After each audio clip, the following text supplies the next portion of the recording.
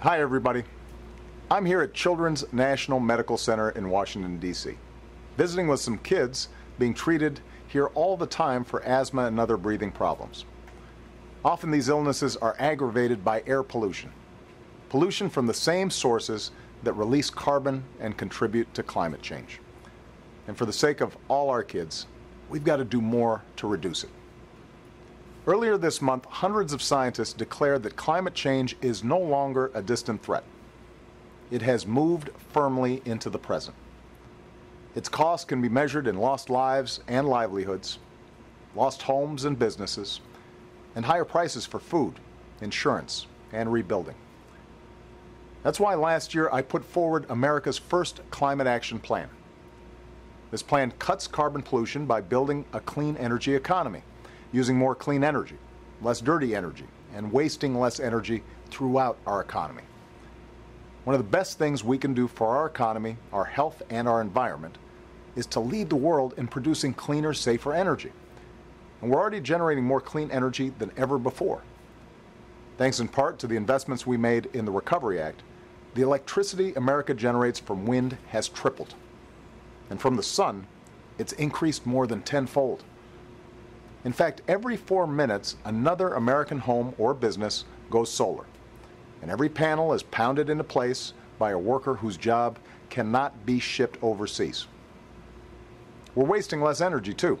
We've doubled down how far our cars and trucks will go on a gallon of gas by the middle of the next decade, saving you money at the pump.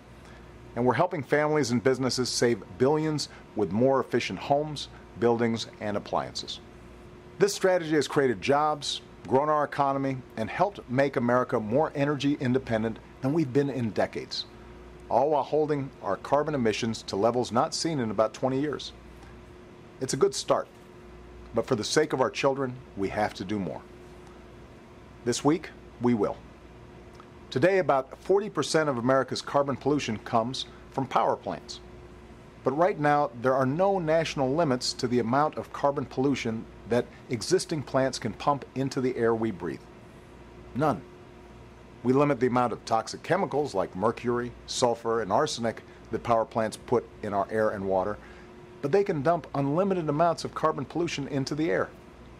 It's not smart, it's not safe, and it doesn't make sense. That's why a year ago I directed the Environmental Protection Agency to build on the efforts of many states, cities, and companies and come up with common sense guidelines for reducing dangerous carbon pollution from our power plants. This week, we're unveiling these proposed guidelines, which will cut down on the carbon pollution, smog, and soot that threaten the health of the most vulnerable Americans, including children and the elderly. In just the first year that these standards go into effect, up to 100,000 asthma attacks and 2,100 heart attacks will be avoided, and those numbers will go up from there.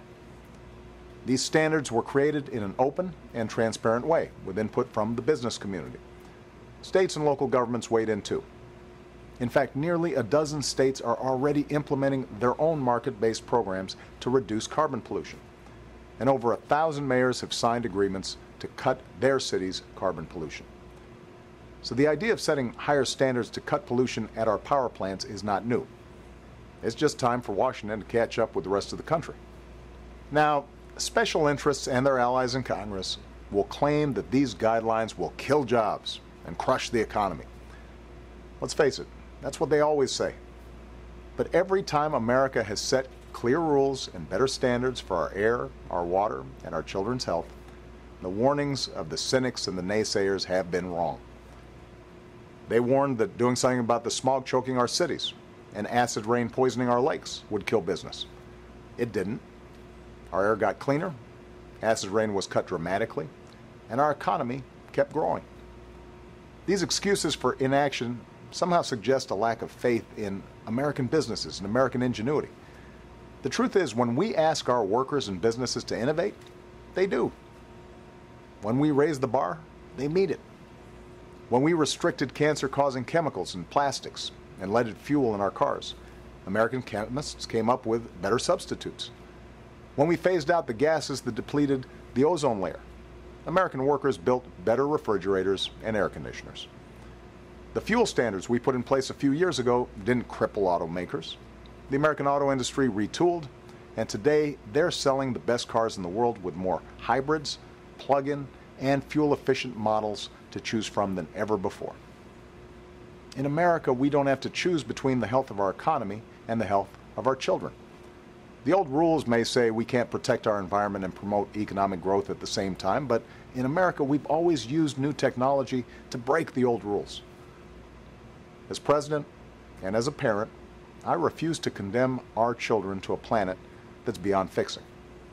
The shift to a cleaner energy economy won't happen overnight, and it will require tough choices along the way. But a low carbon, clean energy economy can be an engine of growth for decades to come. America will build that engine. America will build the future.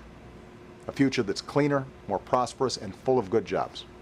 A future where we can look our kids in the eye and tell them we did our part to leave them a safer, more stable world.